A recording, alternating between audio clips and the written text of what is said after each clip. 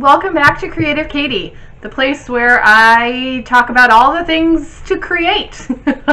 That's basically what it is. And so, up until recently, we had been talking about tumblers and glitter and epoxy and all the things you can do with cups. I thought I'd do a little switcheroozle this time and talk about sublimation. I have recently become obsessed with sublimating and bleaching. I don't know if you've lived under a rock or you don't go on social media, but sublimating and bleaching are so popular right now, and I had to give it a try. So, here is my latest creation, and I am so excited that it has come out so well. What do you guys think? I've got some, some leopard, I got some bad moms club, because let's be honest, that's where I belong. So I thought, why not show you how I got started on sublimating and what the first thing I bought was and where to find all the supplies and then, you know, bleaching a shirt with me and going through the process of actually making a shirt. Um, sublimating isn't for everybody. It can be a little bit expensive to start off with, but I'll talk about different ways to do it without having to spend a lot of money and then I'll go the other route of showing all the things that you could need if you really want to invest and really want to start putting some time and money in this and making it sort of a, a small little side business. So let's go along. And the first thing we're going to do is kind of look at the things that you will absolutely need to get started with this.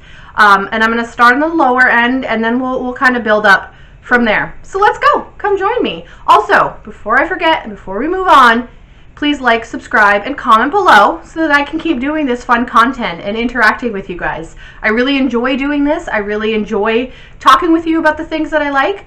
And then don't forget to hit the notification button because I try and update a video every Sunday night. So the first thing you're going to notice is the shirts, obviously, or the sweatshirts that people are bleaching or sublimating. Don't get confused that you can sublimate without bleaching. You do not have to do this bleaching look. I personally like it. Some people don't, and that's okay. And when you're making shirts for other people, make sure to ask them if they want it to be bleached or if they just want a plain look on their shirt. They just want something on their shirt. Either way is sublimating. So the first thing you're really gonna need is a shirt. What kind of shirt sublimates well? Stay away from 100% cotton. That was the first thing I had to really come to terms with. I heard that the higher the polyester count, the better it sublimates. And I was like, polyester? Ooh, God, it reminds me of like jumpsuits and like all of these, you know, it just doesn't feel good on the body. But really, polyester has come a long way. And I buy my shirts at Jiffy Shirts. It's a website that is so wonderful. And they kind of tell you like how much polyester is in each shirt. The ones I buy and the ones that bleach the best are these. These are the Gildan Soft Style shirts. I'll hold it up so you guys can see it a little bit better. Now when you go on there, you really want to check the polyester count. In these shirts, the polyester count is 65%. That is perfect. That is exactly what you want. Higher the poly count, the better your designs will show up and the better they will bleach all of their heathered styles. So this is like a heather pink. I don't remember the, the, name of it, but I'll drop their link down below.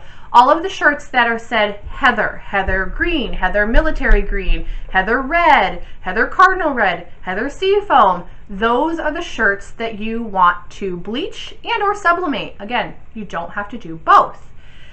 The nice thing about these shirts is they are so, so soft. They do not feel like polyester. They feel like cotton. They are incredibly soft and your customers and yourself will really love these shirts. And it'll hold your ink without fading. That is the key. The higher the polyester, the less it will fade as you wash it and wear it. And you don't want it to fade because you're going to work so hard on these and you don't want it to fade. You don't want to put it in the washing machine and it come out.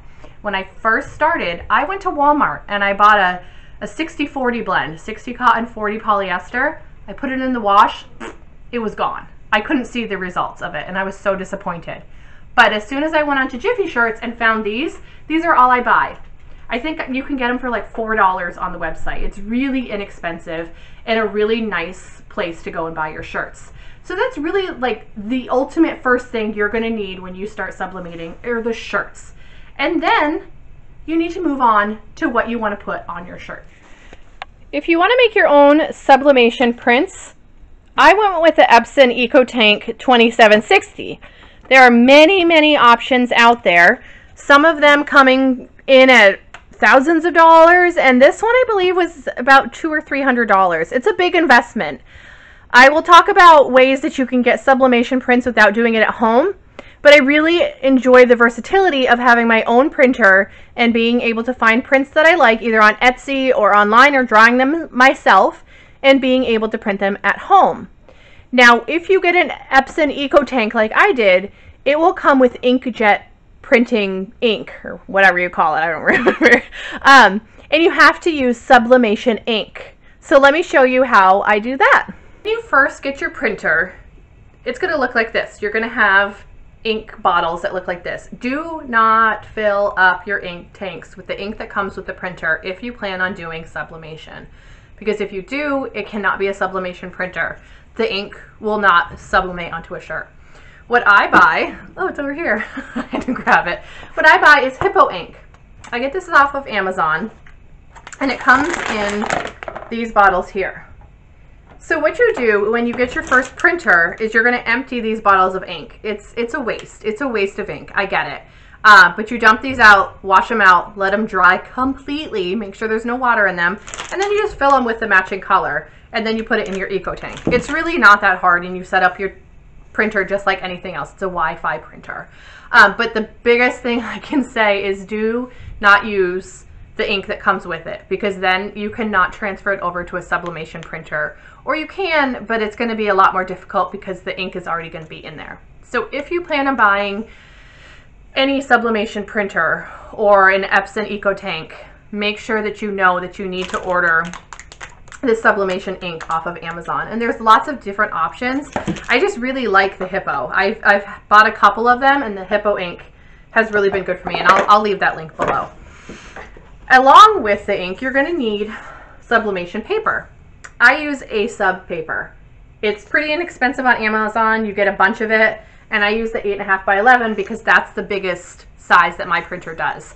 If you buy a bigger printer like a Sawgrass or a bigger what is it EcoTank 1500 I think um, they they do bigger prints but for my purpose and what I want to do I bought a smaller printer save a little bit of money and be able to do the size of shirts that I want. So let's talk about if you don't want to invest in a printer. Um, again the versatility of a printer is great because if you find something you can print it right away and put it on a shirt which for someone like me who is impatient that works really well for. If you don't want to spend that amount of money, you can go onto Etsy and there are tons of people that will print out the design that you find and send it to you. Or you find a friend who has a printer and sublimates and prints something out for you.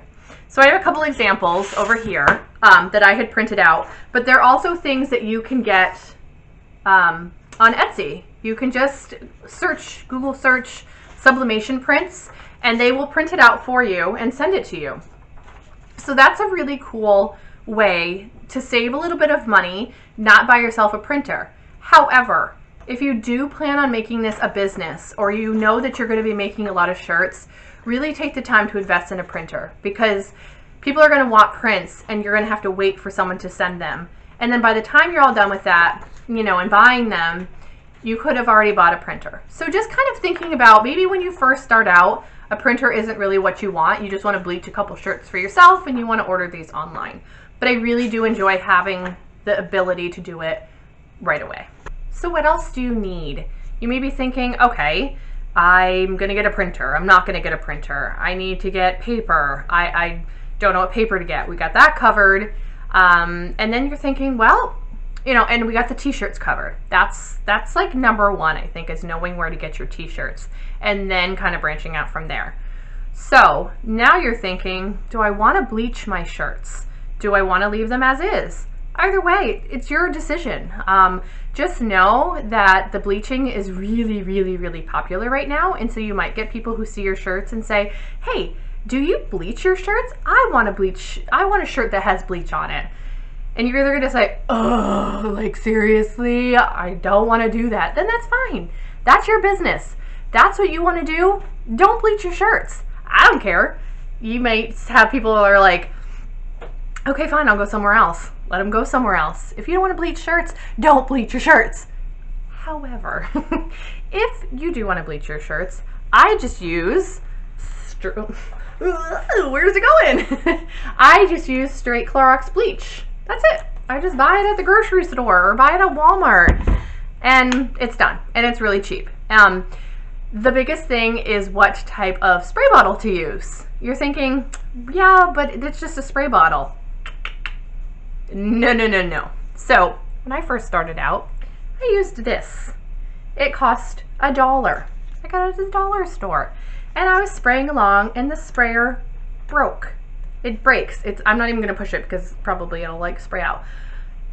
It doesn't work. And it leaves your shirts looking a hot, hot mess. So I took to the internets. I typed in internets, what is the best spray bottle for bleaching? And it came back and laughed at me and said, mm-mm. So if you plan on doing sublimation or really any craft and you're on Facebook, um, find a group. I found a sublimation group and they turned me on to the best spray bottle money can buy. This is the Cadillac of spray bottles. This is the Porsche of spray bottles. The BMW, the Cadillac, whatever you call it, it's the best. So it is glass and it is so fabulous. It has two spraying nozzles. It has a, a flat like, and then it has a mist, which is both what you want when you are bleaching. So you go on Amazon, I'll drop the link below, but it comes with two of them. And it is just so smooth. There's nothing in this. There's, it's so smooth and oh, it has changed my bleaching life. So if you plan on bleaching, I highly, highly, highly recommend getting a good quality bottle because I used this one and I ruined a bunch of shirts. So there you go. Buy this bottle. I will put the link below. So now, you know, we've got our shirt, we've got our bleach. Let's go outside and bleach a shirt. Come on! So I live in Vermont. There's not a lot of sun. Normally, if you're gonna be bleaching shirts, it's best to do it on a sunny day because the heat will help the bleach turn white. If you don't have any sun, that's okay. You just have to let them stay out for a little bit longer. Normally, I leave my shirts out here for about two or three hours and it gets to the point that I want it. If you don't want to wait that long and you're impatient like me, you can always throw it in the dryer, but just know it kind of makes a really yucky smell. And if you have kids or dogs or you just don't want to smell it, just let it sit outside for a while and plan accordingly. So I'm going to use my glass bottle that I mentioned earlier that I got off of Amazon and I use straight bleach. You can put water in it, but it doesn't give you the same results. So it really depends on how you want to do it. So all I do is I lay out a box on the driveway. And then if I want to make the square that I showed on my other shirt, oops, it's a little windy today, I really just kind of plan it out. So I will spray out the size of the square that I want. And the nice thing about these bottles is it has two different spouts. So that was the rough one. And then this one is just the spray and I'll spray inside this box and I'll know what kind of picture I want to put in there and what size it needs. And remember, less is more. So then I do the box and then I change it to the spray and I just put it randomly on the shirt. It doesn't have to be perfect. However you want to do it, it's your shirt, go for it. And you can tell that it's already changing. It's already turning a little bit white and it's already changing. It's going to look orange first and then it's going to go white. So I'm just going to leave this for about two to three hours and then we'll come back. It's only been about a couple minutes and you can already tell that the shirt is changing color. I love seeing how quickly it changes because then I know if I need to add anything or if I went a little too overboard. I think in this one I went a little too overboard, but it's okay because it's my shirt and this is how I want it.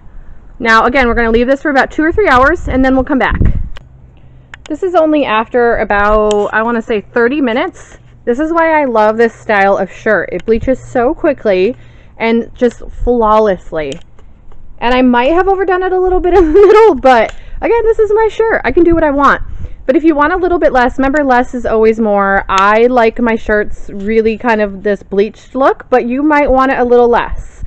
So I'm going to let this go for a little bit longer. I don't want to go too much because it's already pretty white.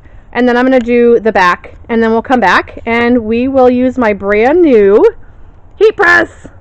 Look, my heat press came in. Heat Press Nation came through, so I'm going to set that up and then we'll get pressing on the shirt.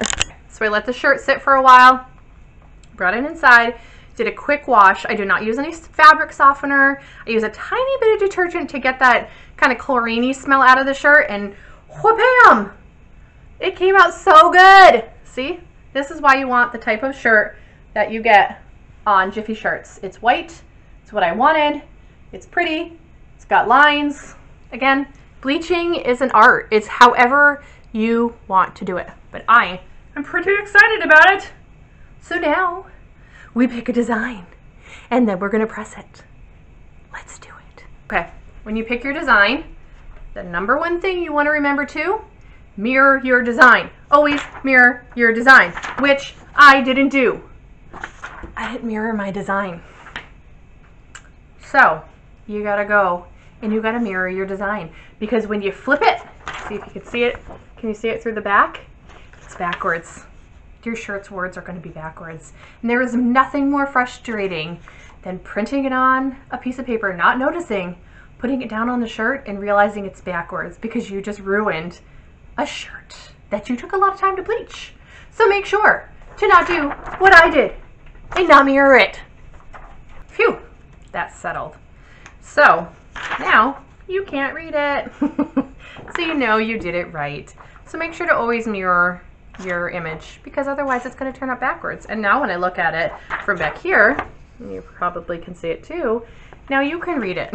So make sure to always mirror your image because then you're going to get mad and have to go upstairs and get your computer and have your kids ask you what you're doing. Nothing. I'm not doing anything. Leave me alone. Okay. So you've got your image.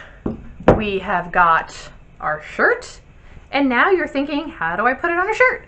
So there are, well, there's really one good option, but there are two options that you can go with. Let's talk about them. So the first option and the most cost-effective option is a Cricut Easy Press. This is what I'd been using up until, well, today, when my heat press came in from Heat Press Nation. Um, this is okay. I used it for this shirt, actually, um, and I've been using it for shirts all along. Uh, after doing some research on the Facebook groups that I was talking about, people were saying that you would get a much better press with um, a heat press. And after practicing a little bit with the new heat press that I got, they are so right. Um, the problem with the Easy Press is that you don't have constant pressure. The heat's there, um, but you're having to do the, the pressing yourself and it's really uneven. I can tell even on this shirt that one side is darker than the other. And you really need that consistent clamshell clamp down um, to get the proper results. So if you have one of these, or you can find one for a good price and you're just starting out, by all means, like press the shirts. I used it for um, this shirt as well. And it's fine. It came out just fine. Um, but if you're moving towards wanting to do this more, um, you're going to want to invest in a heat press. And let me show you the one that I just got. So this is my heat press. Um, I got it, wait, can you see it? I got it from Heat Press Nation and it's a 15 by 15 clamp down. And as you can see it right there. Um, it also has the pull-out drawer which is really helpful. And you can see it pulls out right here. And this is where your shirt is going to go. So that's why it's so helpful to have the pull-out because you can put your shirts on without touching the heat because it's really hot and you want to be careful. So let's press a shirt. Let's give it a try. Um, so the most important thing is to make sure that it's centered. Do I measure? No, I don't. I don't measure. Should I measure? Probably. Um, there are a lot of things out on the market that you can use to measure. Um, I just haven't gotten one yet. So I'm getting my shirt on there. I'm really just kind of seeing if I hold it up where the image is going to go. And then I just make it flat. This is the image I'm going to use. I showed you that before. And I'm going to put it on my shirt and I don't want it too close to the collar. So I'm just going to line it up like that. You need to make sure to put something in between your design and your heat press because otherwise the ink is going to transfer onto your heat press and you don't want that. I went to the grocery store and got non-wax parchment paper. You can use copier paper, but it's going to transfer and I don't think it really works that well. So you put that down, make sure that it's flat, and then you're going to push your design under the heat press and push it, make sure it goes all the way through. And you may need to readjust if it looks like it's going to shift a little bit. Then you pull up, pull this down, and let the timer go. I have this set for 385 for 40 seconds. You're going to know what works best with your heat press by pressing your shirts and knowing what works for you. So remember that image I showed you that I did before? And this was on my Easy Press. The blacks are pretty muted, um, but it still came out fine. It kind of has like that vintagey look. And if that's what you're going for, then that's fine. And again, the Easy Press is okay. Like, I used it for a while and it works just fine. But let me show you the difference between this one. So remember, we saw this. And then let's see what the shirt looks like that we just pressed on my Heat Press Nation. All right, so she's all dressed up again. So remember the sweatshirt I just showed you? The blacks were kind of muted out, a little bit like my t-shirt, but I wanted the vintage feel for this one, so that's okay. But then, look at how vibrant this is. The blacks are just flawless, and there really isn't that much of that vintage feel. And I am obsessed. It came out so, so good. And remember, in a world full of Trunchbulls, be a Miss Honey. Just remember that. But I, I'm really impressed. I really am.